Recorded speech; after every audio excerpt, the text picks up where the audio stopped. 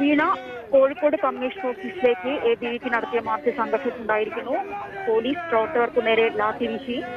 ബാരിക്കേഡുകൾ തകർത്ത് പോലീസിനു നേരെ നേരത്തെ ഞാൻ സൂചിപ്പിച്ചതുപോലെ തന്നെ മുഖാമുഖം എത്തിയിട്ടുണ്ടായിരുന്നു പ്രവർത്തകർ. എന്നാൽ അറസ്റ്റ് ചെയ്ത് മാറാൻ അവരുടെ അടുത്ത് പിന്മാറാൻ ആവശ്യപ്പെട്ടെങ്കിലും പിന്മാറാൻ പ്രവർത്തകർ തയ്യാറായില്ല. തുടർന്നാണ് പോലീസ്